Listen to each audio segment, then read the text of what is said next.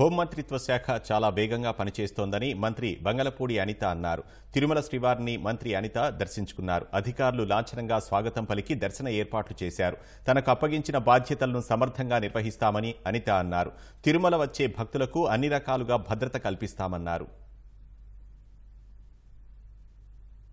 ప్రజలందరూ కూడా last five ఇయర్స్లోనే పడిన కష్టాలు మళ్ళీ తిరిగి పడకుండా కంపల్సరిగా చంద్రబాబు నాయుడు గారి ఆధ్వర్యంలో పవన్ కళ్యాణ్ గారి నాయకత్వంలో లోకేష్ బాబు గారి నాయకత్వంలో ఎన్డీఏ అందరి నాయకత్వంలో కూడా ఆంధ్రప్రదేశ్ మంచిగా అభివృద్ధి పదంలో ముందుకెళ్తుంది. మొన్నే చీరాల్లోని ఒక అమ్మాయిని అతి దారుణంగా హత్య చేయడం జరిగింది. రేప్ అండ్ మర్డర్ జరిగింది. ఆ జరిగిన వెంటనే చంద్రబాబు నాయుడు గారు స్పందించి నన్ను అక్కడికి పంపించడం జరిగింది. విత్ ఇన్ అవర్స్లో నేను అక్కడికి వెళ్ళి ఆ ఘటనా స్థలాన్ని అదంతా చెప్పి పోలీస్ డిపార్ట్మెంట్ వాళ్ళకి కూడా నలభై ఎనిమిది గంటలు నేను వాళ్ళకి టైం ఇవ్వడం జరిగింది. కానీ వాళ్ళు డిపార్ట్మెంట్ వాళ్ళు కూడా చాలా మంచిగా థర్టీ సిక్స్ అవర్స్లోనే నిందితులు ఎవరైతే ఉన్నారో వాళ్ళని పట్టుకొని ఈరోజు వాళ్ళందరినీ అరెస్ట్ చేయడం కూడా జరిగింది.